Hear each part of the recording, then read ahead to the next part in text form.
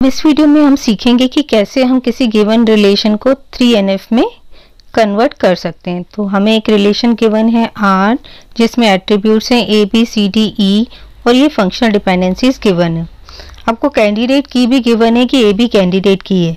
लेकिन अगर कैंडिडेट की नहीं गिवन होती तो मैंने आपको बताया है कि हम किसी भी रिलेशन की कैंडिडेट की कैसे डिटरमाइन करते हैं एट्रीब्यूट का क्लोजर फाइंड आउट करके। तो यहाँ पर हम देखें तो राइट हैंड साइड सी है डी है और ई e है। ठीक है ए नहीं है और बी नहीं है। तो हम ए बी को लेंगे और उसका क्लोजर फाइंड आउट करेंगे। तो देखो ए बी का ए बी तो आएगा ही। ए बी से सी डिटरमाइन हो सकता है तो सी भी आ जाएगा।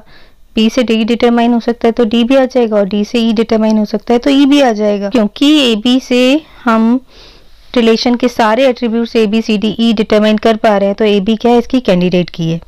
तो नहीं गिवन होती तो आप ऐसे फाइंड आउट कर सकते थे कि इस रिलेशन की कैंडिडेट की क्या होगी। S A B is candidate key, ठीक है, अगर ए बी कैंडिडेट की है तो ए बी डिटरमाइन सी ये तो फुल्ली फंक्शनल डिपेंडेंसी है। यहाँ पर हमें एक पार्शियल डिपेंडेंसी दिख रही है, देखो बी डिटरमाइंस डी ठीक है बी डिटरमाइंस डी में बी क्योंकि क्या है पार्ट ऑफ़ कैंडिडेट की है। पार्ट ऑफ़ की से एक नॉन की एट्रीब्यूट डिटरमाइन हो रहा है तो ये पार्शियल डिपेंडेंसी है। अगर यहाँ पर ए बी डिटरमाइन डी होता ना तो ये करेक्ट होता, ये फुली फंक्शनल डिपेंडेंसी होती। लेकिन यहाँ पर ये बी पे डिपेंडेंट है डी ए बी पे डिपेंडेंट नहीं है तो ये है पार्शियल डिपेंडेंसी इसका मतलब है कि given relation is not in two N F because partial dependency because of partial dependency क्योंकि इसमें पार्शियल डिपेंडेंसी है तो ये रिलेशन टू एन एफ़ में भी नहीं है. और हमने क्या कहा था? एक रिलेशन थ्री एन एफ़ में तब होती है, पहले उसे टू एन एफ़ में होना चाहिए. तो इस रिलेशन को पहले हमें करना पड़ेगा कन्वर्ट टू एन एफ़ में, यानी ये पार्शियल डिपेंडेंसी रिमूव करनी पड़ेगी। तो हम क्या करेंगे? Decompose relation into two relation मैंने आपको बताया था कि जिसमें पार्शियल डिपेंडेंसी होगी, उस रिलेशन को सेपरेट बना लो बी और डी की। लेकिन यहाँ पर अगर आप देखो तो डी से ई e भी डिटरमाइन हो रहा है। तो बी डी ई इन तीनों को हमें एक रिलेशन में रखना होगा और ए बी सी को एक रिलेशन में रखना होगा। तो इसीलिए हम दो रिलेशन बनाएँगे, एक रिलेशन ए बी और सी की, ठीक है?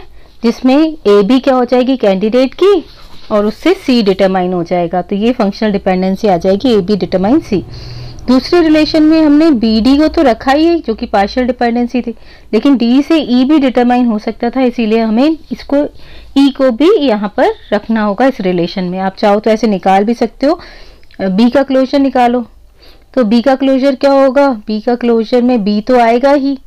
ठीक है बी से डी डिटरमाइन हो रहा है तो डी भी आएगा और डी से ई e डिटरमाइन हो रहा है तो ई e भी आएगा। तो क्योंकि आप बी से डी और ई e भी डिटरमाइन कर पा रहे हो तो इस रिलेशन में ई e भी आएगा। तो आर टू रिलेशन में आ गए B D E attribute B इसकी हो जाएगी प्राइमरी की, ठीक है? तो बी से आप डी डिटरमाइन कर रहे हो और डी से ई e डिटरमाइन कर रहे हो। तो ये दोनों रिलेशन जो हैं वो टू एन एफ़ में क्योंकि पार्शियल डिपेंडेंसी नहीं है। लेकिन two N F transitive dependency नहीं देखता है। इस रिलेशन में हम देखें तो B क्योंकि कैंडिडेट की है तो B एक प्राइम एट्रीब्यूट है और D और E क्या है? नॉन प्राइम एट्रीब्यूट तो यहाँ पर B डिटरमाइन कर रहा है D को और D डिटरमाइन कर रहा है E को. ठीक है? एक नॉन प्राइम एट्रीब्यूट दूसरे नॉन प्राइम एट्रीब्यूट को जब डिटरमाइन करता है तो वो होती है ट्रांजिटिव डिपेंडेंसी तो टू एन एफ़ इस चीज़ को नहीं चेक करता है. वो सिर्फ़ क्या देखता है कि पार्शियल डिपेंडेंसी नहीं होनी चाहिए. इस टाइप की रिडेंडेंसी को एलिमिनेट करने के लिए क्या यूज़ करना पड़ता है हमें? थर्ड नॉर्मल फॉर्म ये रिलेशन जो है वो सेकेंड नॉर्मल फॉर्म में है। जो है वो थर्ड नॉर्मल फॉर्म में भी है। क्यों? क्योंकि इसमें जो नॉन प्राइम एट्रीब्यूट इसमें नॉन प्राइम एट्रीब्यूट क्या है? सी और प्राइम एट्रीब्यूट क्या है? ए बी क्योंकि ए बी कैंडिडेट की है। तो non prime attribute directly dependent है सुपर की या प्राइमरी की पे इसीलिए ये थ्री एन एफ़ में ही है। लेकिन इस रिलेशन में क्योंकि हमें दिख रहा है एक नॉन प्राइम एट्रीब्यूट दूसरे नॉन प्राइम एट्रीब्यूट को डिटरमाइन कर रहा है तो इसमें है ट्रांजिटिव डिपेंडेंसी तो इसीलिए इस रिलेशन को अगेन हमें डिकम्पोज करना पड़ेगा।